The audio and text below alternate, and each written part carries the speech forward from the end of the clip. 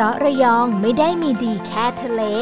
เตรียมไปรีชาร์จความสุขแบบ 360 องศา ที่สวนพฤกษศาสตร์ระยองที่เที่ยวแห่งใหม่ อันซีนสุดๆ ที่จะหาดูที่ไหนไม่ได้ นอกจากแอปพลิเคชัน AIS 5G Play VR ที่เดียวเท่านั้น ลูกค้า AIS เล่นฟรีดูฟรี วันนี้ถึง 31 ธันวาคมนี้ มาให้ธรรมชาติโอบกอดเรารอบด้านด้วยกัน